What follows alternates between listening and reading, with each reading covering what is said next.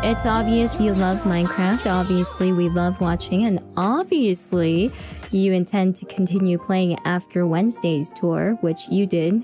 Uh, so why cut the stream so that next time you can give us yet another tour of the most recent journeys you've excluded us from? Ooh, I sense some salt there. I, I get it. You know, okay, okay.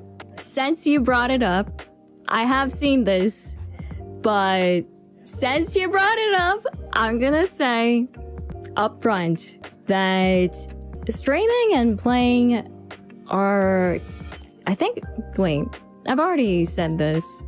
Uh, I hate sounding like a broken record if I'm being repetitive, but streaming and playing games in your spare time are quite, quite different.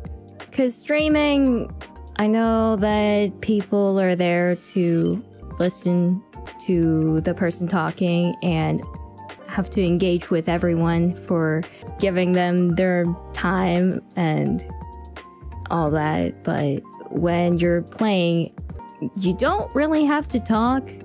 And I'm the type of person who just kind of plays game in silence unless it's multiplayer co-op, it may be a different story. And uh, when I do interact with people in Minecraft, the text chat is appealing in its own way. For example, if I'm talking to the JP senpais, I feel like I could write Japanese a bit more easier for them to understand.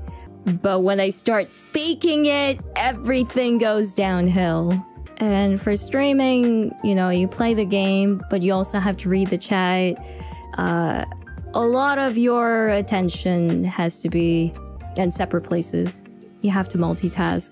And I'm not very great with that. Oh, if you if you can't tell.